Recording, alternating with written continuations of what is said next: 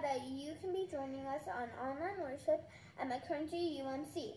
Wherever you are watching from, we invite you to prepare a worship space along with us lighting candle, having a Bible handy,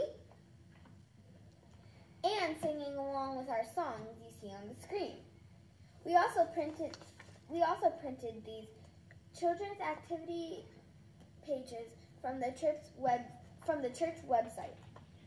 We are so glad we can worship with you today. Bye.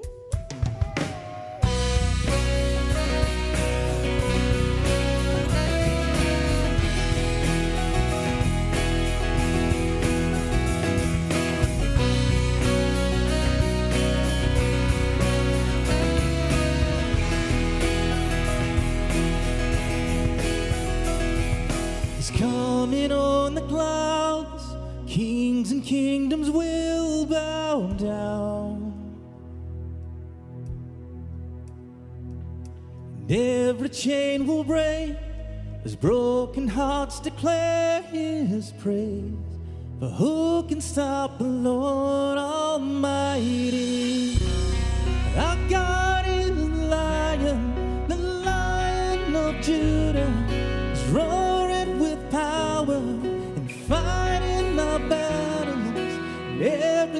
will bow before him. Our God is the Lamb, the Lamb that was slain for the sins of the world. His blood breaks the chains, and every knee will bow before the and Lamb. Oh, every knee will bow before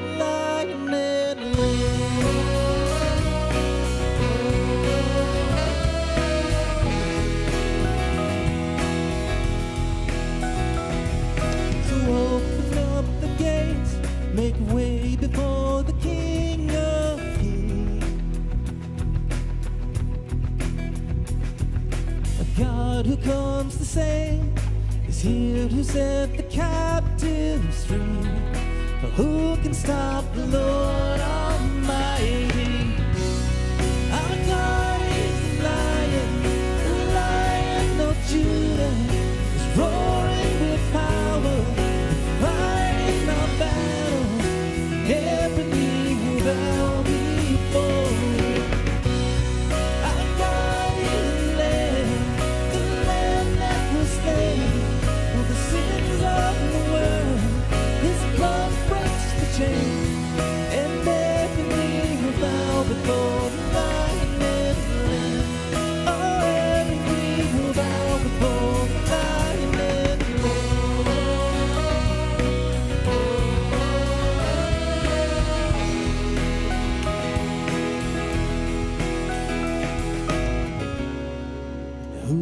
The Lord Almighty?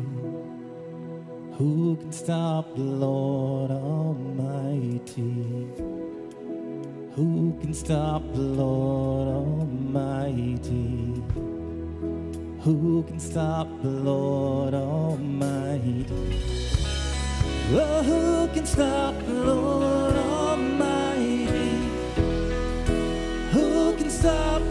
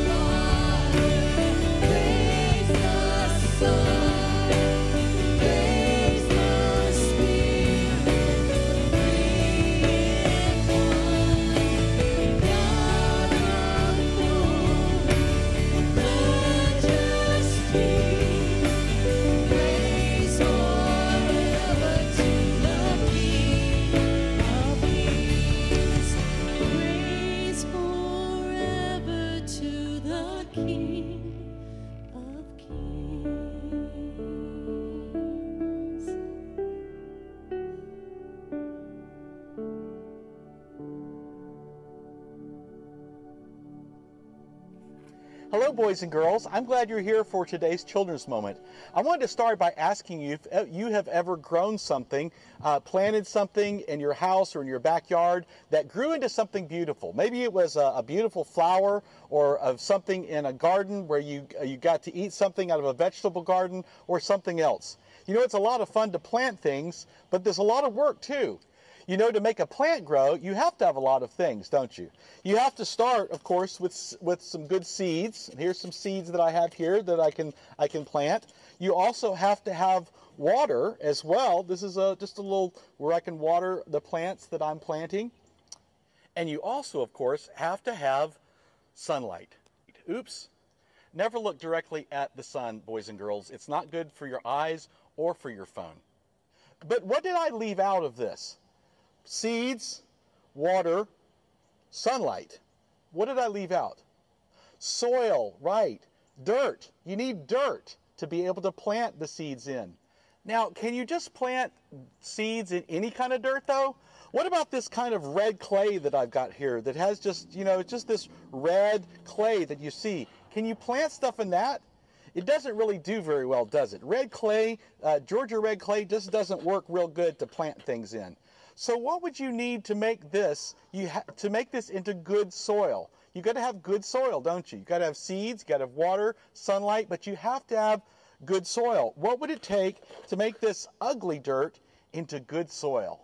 Well, to have that, you have to have something like fertilizer, like a potting mix or something like that. I have some potting mix here that has some fertilizer in it, and if I mix the nutrients in with all of the soil and the dirt, the bad dirt, it's going to actually make a much, much better type of soil that a plant might grow in. So I mix this together with all the nutrients and all the soil. It's what we can find that will actually grow something in.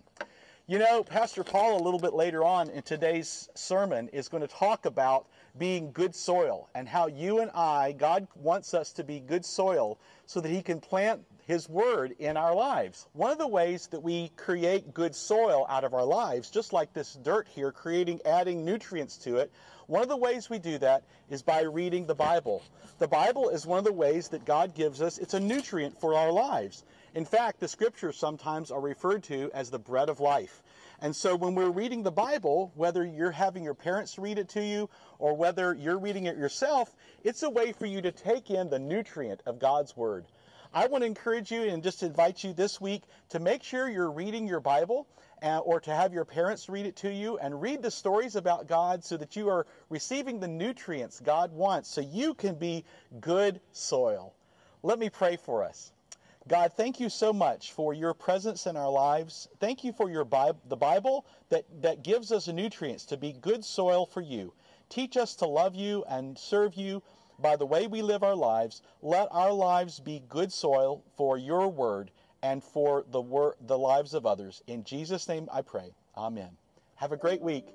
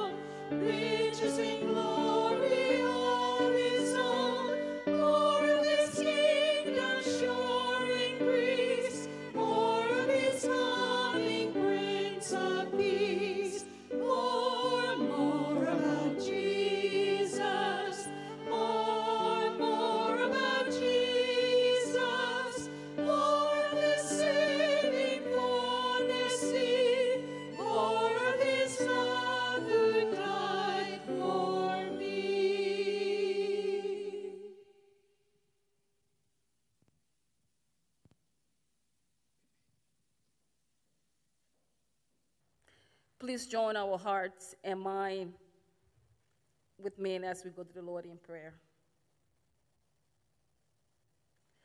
Come, Holy Spirit, and fill this sanctuary with your presence. Jehovah God, we bless your holy name. We magnify your name, O Lord.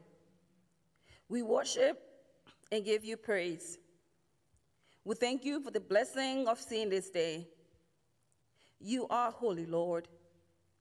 Great is your name and greatly to be praised. You are the one and only true God of Israel. There is no other God but you, Lord. Excellent is your name in all the earth. Father, we are thankful for your divine love by sending your only Son Jesus to die for our sins on the cross of Calvary. We come to you with penitent hearts, Lord, because, Lord, you said sacrifices you do not require, but a broken heart and a contrite spirit, Lord, you will not despise. And so we bow our heads and our hearts before your throne of grace this morning to confess all of our sins to you. Father, we have sinned in our thoughts, in our words, and in our actions. Forgive us, Lord. We have not loved our neighbors as ourselves. Forgive us, Lord. Search our heart, Lord. Reveal to us areas of unconfessed sin and cleanse us from all of them.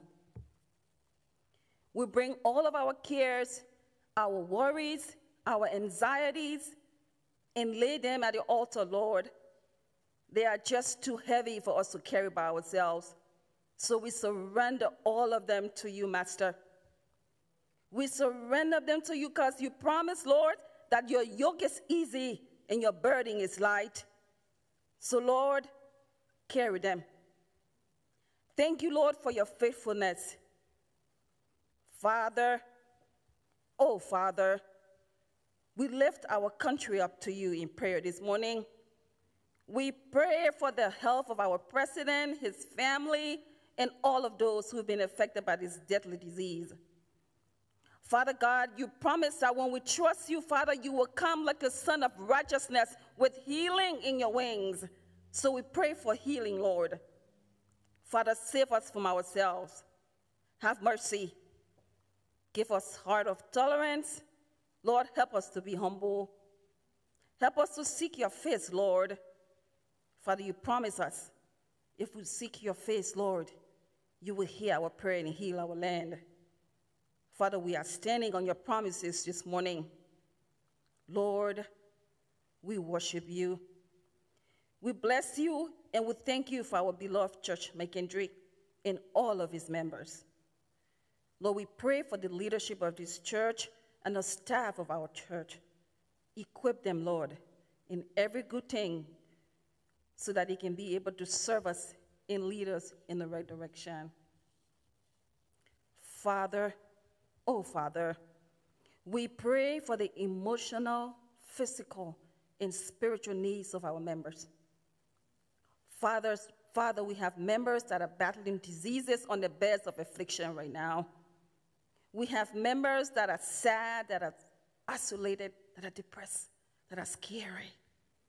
Oh, Father God, have mercy. Lord, give us your inner peace. Remind us, Lord, that you are our healer. Remind us, Lord, that you can heal us from all our diseases. Remind us, Lord, that you can supply all of our needs.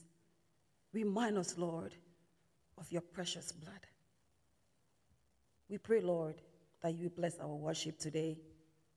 Prepare our hearts, Lord, to hear from you as you speak through your servant, Pastor Paula, this morning. Lord, set our hearts on fire. Renew us, O oh God, with the power of your Holy Spirit. Father, we pray all these things through your only and precious Son, Jesus Christ, our comforter, our healer, our intercessor, the great shepherd of the sheep. In Jesus' name, amen. Please join me in the Lord's Prayer. Our Father, who art in heaven, hallowed be thy name. Thy kingdom come, thy will be done on earth as it is in heaven.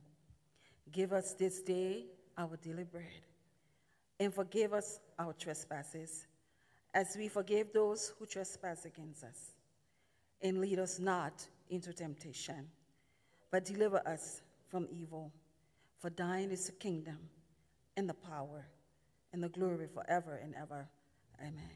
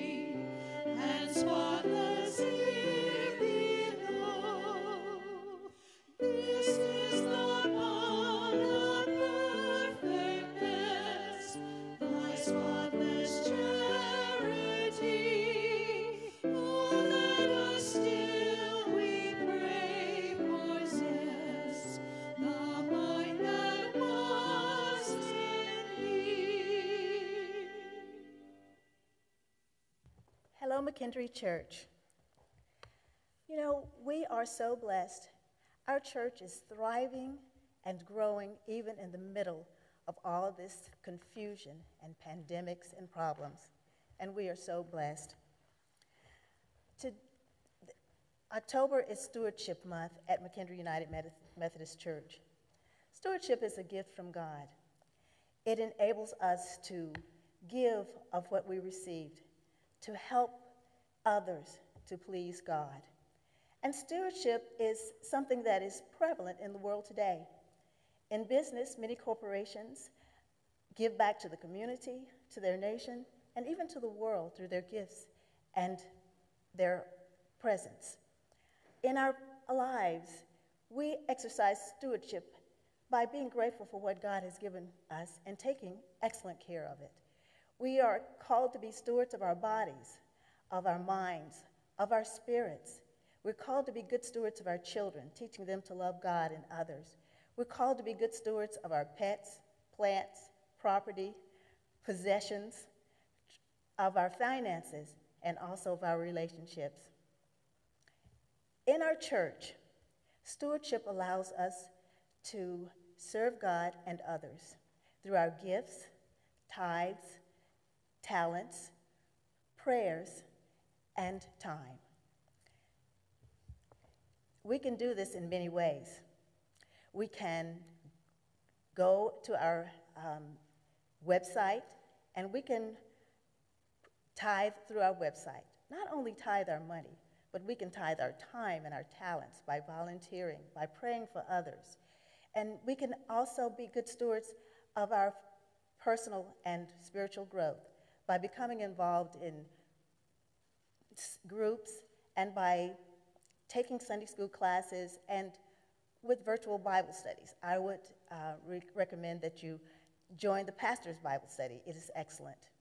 We can also pray by using the Dropbox that the church has. It's located next door to the fellowship hall. You can drop a check in there. Or you could go right around the corner to where the um, preschool drop off is and leave a, a present or a donation for the Lawrenceville Co op. You can also make your tithes through the mail. You could send a check through the mail to McKendree, or you could send a card to someone who has recently lost a loved one, or someone who was ill or had surgery, letting them know that you love them, that God loves, loves them, and that you're praying for them. You can also tithe through your phone. You can text your tithe to your phone. Or you could phone a church member who you haven't seen for a while and let them know that you're praying for them and reconnect. You can also go to your bank, which is my favorite way of tithing, and add, your, add the church as a payee and tithe through the bank. You can also send a check to a starving college student to, to encourage them to continue, even though it's hard, or send a contribution to the Lawrenceville Co op. Stewardship unleashes our potential to do and to give more, and scripture tells us that is, there's a reward for that. Luke 6 38 says, If you give, you will receive. Your gift will return to you in full measure, pressed down, shaken together to make room for more, and running over. Whenever, whatever measure you use in giving, large or small, it will be used to measure what is given back to you. So the promise of good stewardship is that God will bless your efforts to overflowing. Let us pray. Precious Lord, thank you for this church, for the vibrance, the vibrant spirit of this church. Help us, Heavenly Father, to be good stewards of all that you've given us. Thank you for unleashing our potential to do more, to have more, and to give more through our gifts, our tithes, our talents, and our prayers. In Jesus' name, I pray this prayer, and all the people say, Amen.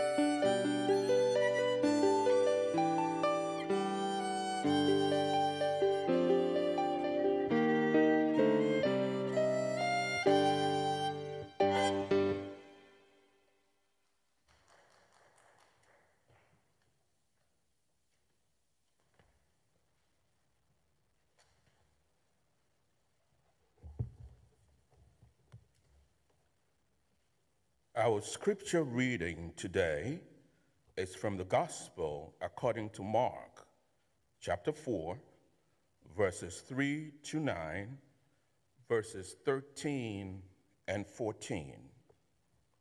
The parable of the soils. We'll be reading from the Common English Bible. Hear these words. Listen to this. A farmer went out to scatter seed. And as he was scattering seed, some fell on the path, and birds came and ate it. Other seed fell on rocky ground where the soil was shallow. They sprouted immediately because the soil wasn't deep. When the sun came up, it scorched the plants. They dried up because they had no roots. The other seed fell among thorny plants. The thorny plants grew and choked the seeds, and they produced nothing. The other seed fell into good soil and bore fruit. Upon growing and increasing, the seed produced, in one case, a yield of 30 to 1, in another case, a yield of 60 to 1, in another case, a yield of 100 to 1. He said, Whoever has ears to listen should pay attention. 13. Do you understand this parable? Then how will you understand all the parables? The farmer scatters the word, the word of God for all people. Thanks, Thanks be, to God. Thank you, Brother Russell. You're welcome. Thank you so much.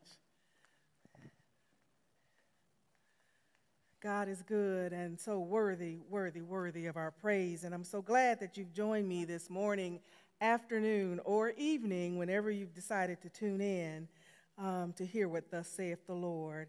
If you could, please um, pray with me uh, before I approach um, this word. Most gracious Lord, I just thank you for this day. I thank you for the word that you have placed in my heart and in my mind. And I thank you, Lord, for this church family here at McKendree. I thank you for all the listeners, all the hearers, all the doers. I ask, Lord, that you would hide me behind the cross and that only your word go forth. In Jesus' name we pray. Amen. Thank you. Thank you for joining us today. And where we're starting, the book of Mark. At Mark 1, it says, the beginning of the good news about Jesus Christ, God's Son. And as the book starts, Jesus is amassing many followers. First, John is out in the wilderness. He's announcing the coming of Jesus and that he is preparing a way of the Lord. Then John baptizes Jesus Jesus calls and recruits his disciples, and his ministry begins to spread. There are miracles and healings, the giving of forgiveness. Jesus is eating with sinners, teaching on fasting, teaching what is important when it comes to observing the Sabbath. So, up to this point in Mark, Jesus is doing a lot of the work. And then we find ourselves at Mark 4, and Jesus is teaching. Picture the scene. Jesus has been followed from town by a great crowd of people. Some, some Bible verses use the term multitude. There are so many people that Jesus has to get out on a boat and go out on the lake.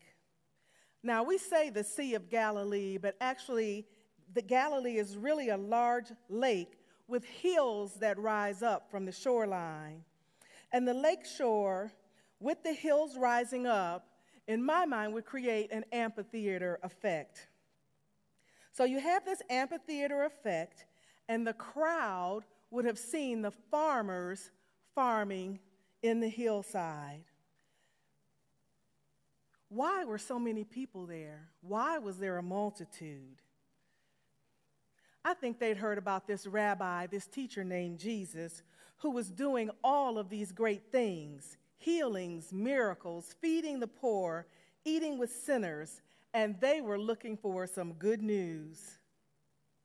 And Jesus shouts out, Listen, listen, pay careful attention.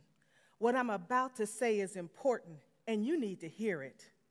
It's important for our lives.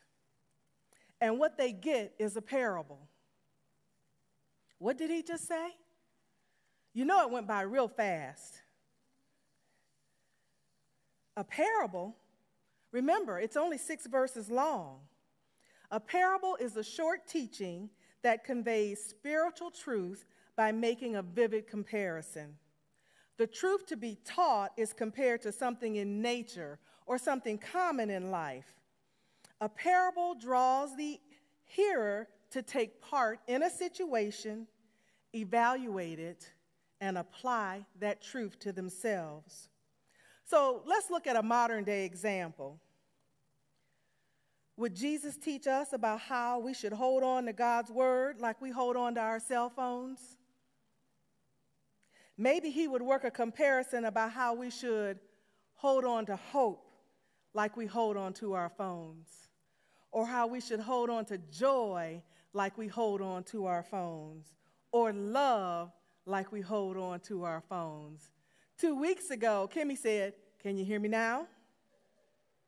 Verse 9 says, Whoever has ears to hear should listen and pay attention. So, now in many of the Bible versions that I read, this section of scripture is called the parable of the sower. But in the Common English Bible, it's entitled the parable of the soil. The things that are consistent in the parable are the sower and the seed. So Jesus tells us in verse 14 that the sower spreads the word. So the seed is the word. So, what's the variable? The soil. In Genesis 2 7, it reads, The Lord God formed the human from the topsoil of the fertile land. We're the soil in this parable. God is sowing God's word into us. So, what's the fate of the seed in the different types of soil? What's the fate of the seed in you? Is your soil hard, rocky, thorny, or rich dirt? And if it's not rich dirt, and you know, nobody has to tell us, we know, then how do you get to become rich dirt? How do you cultivate a heart that will produce a great yield for God's kingdom? So the first soil is so hard, the seed laid on top of it, and the birds ate it. So the seed is the word, and basically, in this example, it's wasted. There are some people whose hearts are so hard that the Christian message just cannot enter. This, a lot of times, is due to their lack of interest and their lack of interest comes from their failure to recognize the importance of Christianity and the message. Christianity fails to make an impact on people not because they're hostile, but sometimes it's just because they're indifferent. There's no yield or production as a result of the planting. The second soil mentioned is rocky. Rocky soil appears fertile but the rocks are covered with a fine layer of shallow soil. And in this patch of land, the seed soon, as it's hit by the sun, withers. In other words, you've done the work, but you only get half the results at best, or you get short term results. If the word is not planted deep when the sun comes up, also known as bad times, trials, and tribulations, we can't stand the heat. So we wither under the stresses of life and we don't produce any crop. Or if there's any rain or the slightest shift in the soil, you find yourself between a rock and a hard place. Y'all have heard that one. Or this is the other situation we find ourselves in. It's easier to begin a thing than to finish it. People are attracted to Christianity, but never but it never gets beyond the surface of their hearts. An evangelist said, We have learned that it takes 5% effort to win a person to Christ and 95% to keep them in Christ and growing into maturity in the church. Next, we've got that seed planted in thorns. Who are your thorny plants? people, places, or situations. Last week, Brian talked about strange folks in our community. Now, I'm going to tell you, I love a good strange person. It keeps it interesting. A good strange person to me, though, is a person that is, is maybe the opposite of you. I'm more of a planner. I love having a spontaneous person around me. One example is my sister. I hope she's not tuning in. I'm going to talk about you, Crystal. Um, she's spontaneous and she has a job where it, it, she's a nurse and it can be sad sometimes. One day she called me up. She said, I'm sad about work, but everybody's happy at Disney. You want to go? I said, Eric, gas up the car. We're going to Disney. Then she called me up and said, I want Anthony, that's my son, to come, and his two children. So we all loaded up in the car and had a great uh, Disney vacation. That's, that's good, good strange for me. But there are other folks in our lives that we need to really reevaluate. They can choke the joy out of any situation. You hit the lotto for a million dollars, they want to remind you that the government's going to take 25%. Okay, I only hit the lotto for $750,000. That's all right. Or every step you take toward next, the next level in spiritual growth, they're right there behind you talking about what you used to do in the good old days. I know what I used to do in the good old days because I was there too. But I'm continuing, though, to go forward and grow with God. But because we're surrounded by these thorns and we're not deep rooted ourselves, we can't fully bloom or produce a bountiful harvest. But it's easy to blame it on other people, but sometimes we're our own worst enemy. We pack our lives with so many interests, errands, Zoom meetings, trying to raise these perfect, well dressed children, keep our houses clean, our lawns manicured, and then at the end of the day, there's no time for reading the word or for praying to God. Imagine not having the time to ask the God of all power to come in and handle your situation. Thorns, those are thorns. Lastly, Jesus teaches about good soil, good, clean, and deep soil. At verse 8, he says, other seed fell on good soil and bore fruit. Upon growing and increasing, the seed produced one, in one case, a yield of 30 to 1, in another case, a yield of 60 to 1, and in another case, a yield of 100 to 1. So, what we have to see in this parable is that the sower is spreading the word generously. Are we ready to receive it? The harvest is bountiful because our God is bountiful and sowing without measure. But what we have to remember is that while we may be hard, or we can be hard or thorny or unyielding, and the world can be threatening, but God but God's word of grace will be fruitful if we don't harden our hearts and work daily, daily, did I say daily? To become good soil. Considering that we're focusing on stewardship this month, we are looking for ways to go fully UP, up, to unleash our potential. How can we be good stewards of the word that the sower has so generously sown in us? This parable doesn't necessarily tell us how to become good soil, but I've got some ideas on how to cultivate or condition our hearts to be soft and pliable and ready to receive the word in order to produce an abundant crop. If we want to benefit from God's word and allow it to change our lives and condition our soil, we've got to do three things. First, the parable says we have to hear it. And in order to hear it, we have to listen. Isn't that how the parable begins? Jesus said, Listen. So, most of you have heard that saying about how we listen to respond to the person talking, and we don't necessarily listen to hear or comprehend what they're saying. We're, we're listening, so we're ready to respond. We're not really listening to receive from that other person. We're getting ready to tell them what we think about that situation.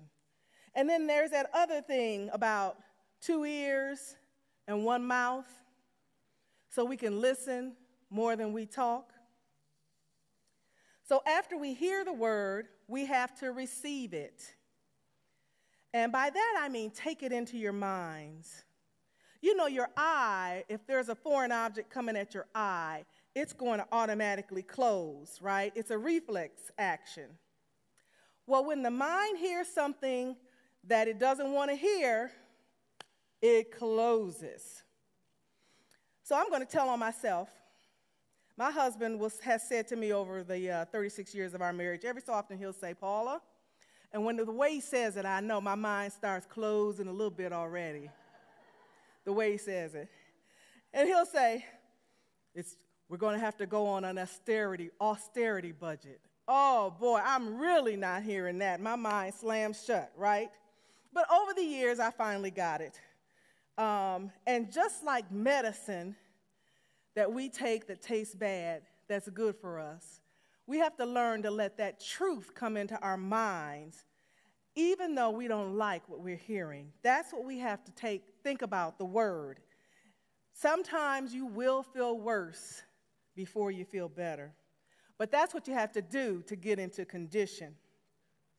So after you hear the word and after you receive the word, then thirdly, we've got to put that word into action.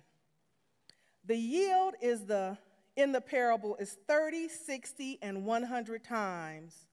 Yields like that don't just happen. It takes work. To condition a soil, a lot of times you have to add additives, as, as Pastor Brian showed us in the children's moment. So, a soil conditioner is something that's added to the soil to improve its condition or its fertility. Soil conditioners can be used to improve poor soils or to rebuild soils which have been damaged by improper soil management, also known as life. They can make poor soils more usable and can be used to maintain. So, no matter where you are, even if you are good soil, you need to maintain your peak condition.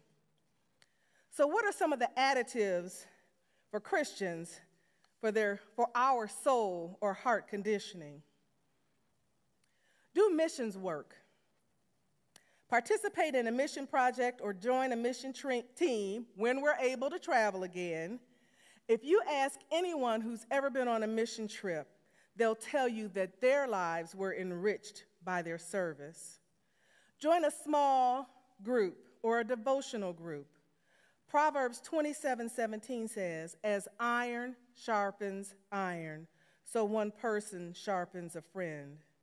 You need to be part of a group of people that will hold you accountable, who can help you grow in love, a place where you can read the word and share what it means to you.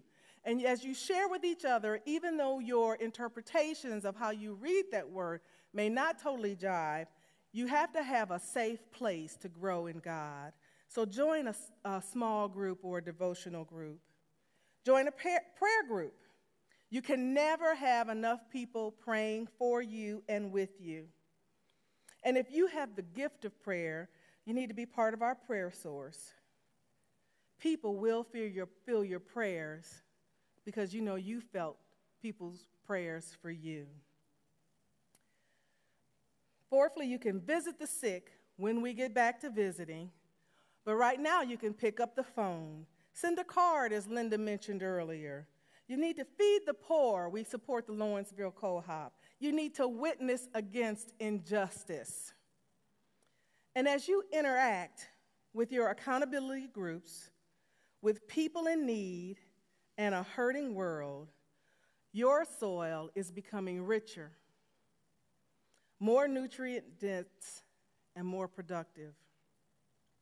You're sharing the word and love of God with a world piece by piece, person by person, and your yield multiplies even if you don't see it. You may never know where your roots go, but you have to do the work anyway because the harvest is sure. The harvest is sure because we worship a God, a sower, who generously sows seed. Think about what the people sitting there heard that day. They didn't have a chance to study each word, to reflect on it. Remember, I said the parable was only six verses. And they probably looked around. What did he say? But what would have stood out to them? Our God sows even when God knows there's a chance of failure. He sows anyway. And there were failures at different stages of the growth as we've gone through. First, the seeds didn't germinate. The second batch withered away in the early stages. And the third batch grew but produced no fruit. But because our God sows so generously, we are assured of the harvest. So don't get tired. Don't get tired. That's what the crowd heard. Don't get tired. The crowd heard, don't despair. Your labor is not wasted. I know these are strange times and the world is threatening and your neighbors can be caustic. But Galatians 6 9 says, Let's not get tired of doing good because in time, in time, we'll have a harvest if we don't give up. Let us pray.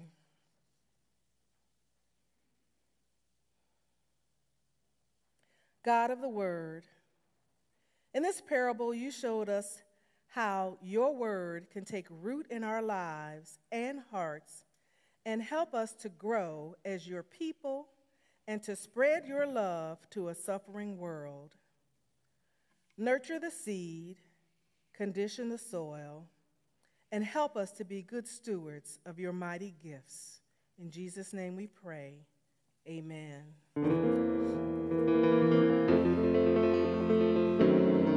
We're here to till, sow, and spread the good word.